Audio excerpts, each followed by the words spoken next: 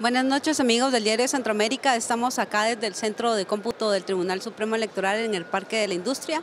Tenemos en esta noche al Ministro de Energía y Minas, Luis Chan, quien nos va a compartir acerca de las emergencias que se han tenido eh, para garantizar el fluido de energía eléctrica en todo el territorio nacional. Buenas noches Ministro, bienvenido. Si nos puede contar cómo está la situación Buenas noches, muchas gracias. Pues en realidad creo que ha sido un día eh, bastante importante para los guatemaltecos. El sector eléctrico se conformó con un comité. Este comité empezó sus coordinaciones hace más, eh, más o menos tres semanas y dentro de estas acciones pues hay inmersos tanto distribuidores, transportistas y agentes del mercado eléctrico, así como el administrador de mercado mayorista y la Comisión Nacional de Energía.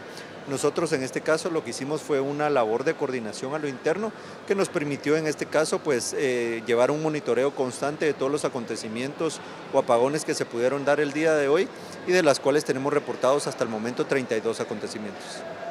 Eh, hasta el momento, ¿cuál es el desempeño del sistema eléctrico? ¿Cómo están funcionando? Eh, pues eh, como mencionaba, los acontecimientos que se han dado son de lo más normal, eh, transcurre como cualquier acontecimiento de un día no ordinario, la única diferencia en este caso pues que hubo una mayor coordinación y una mayor celeridad en este caso para atender algún acontecimiento que se pudo estar presentando. de las cosas que podemos destacar, cosas muy sencillas, árboles caídos, alguna rama que provocó algún, algún fallo en el sistema, fusibles quemados y algunas cuestiones que no pasan de lo normal.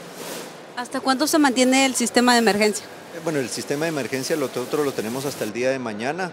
Eh, cabe destacar también que realizamos una coordinación con otras entidades del sector gubernamental, en este caso Ministerio de Educación, Defensa y Gobernación, para el resguardo de las instalaciones y en este caso también coordinación con el Ministerio de Educación que nos permitía identificar algún fallo en alguna de las, en este caso, de los centros de votación.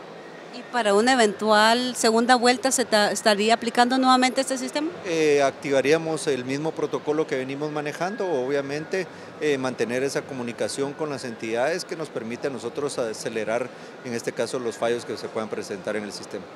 ¿Cuál sería el mensaje para los guatemaltecos hoy que acudieron a las urnas a votar?